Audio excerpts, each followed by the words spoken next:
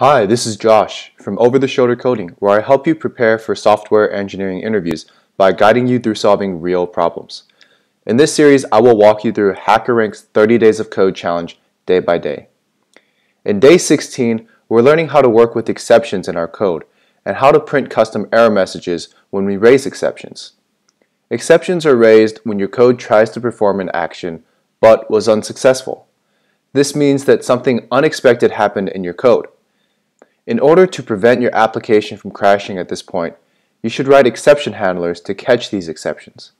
A common pattern used here is the try catch finally block. In the try section, you can write code that could possibly result in exceptions being thrown.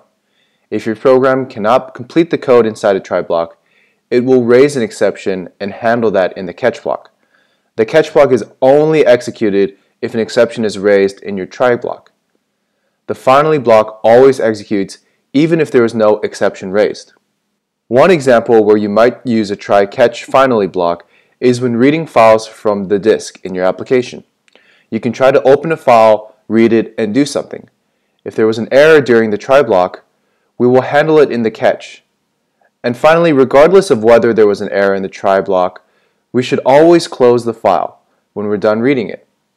So we'll do that in the finally section. So for today's task, we will read a string s and print its integer value. If s cannot be converted to an integer, we will print bad string. Let's look at the examples to better understand what we need to do.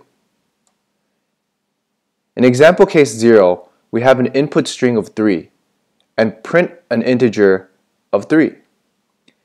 But in example case 1, we have an input string of za but since za cannot be converted to an integer, we need to print bad string.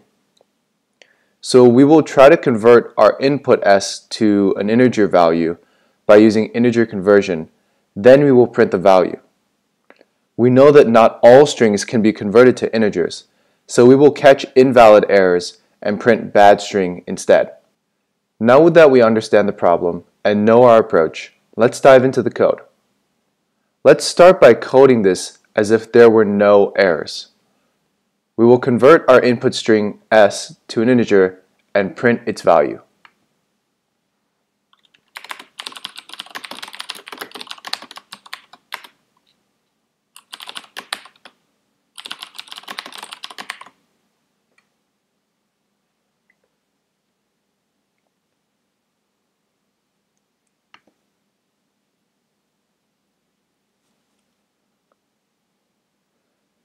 When we test our solution, we see that for some values, the integer value is printed.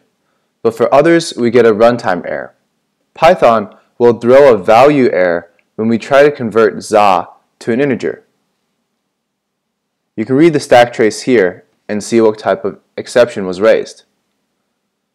By getting our hands dirty with some test cases, we now know that initializing an integer with a string can result in a value error being thrown we need to put our code in a try block and catch the value error. When the value error is thrown, we will print bad string.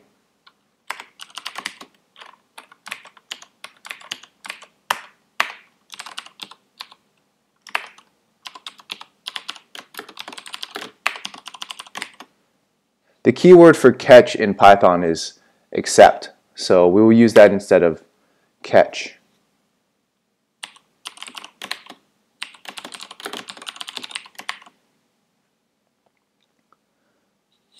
All right, let's test our solution again.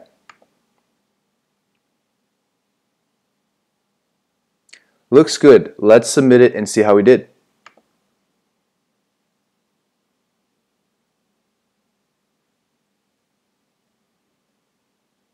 Great, we passed all the cases.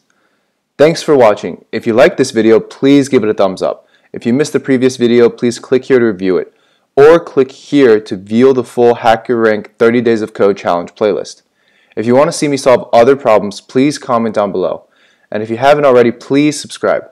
Thanks, and I'll see you later.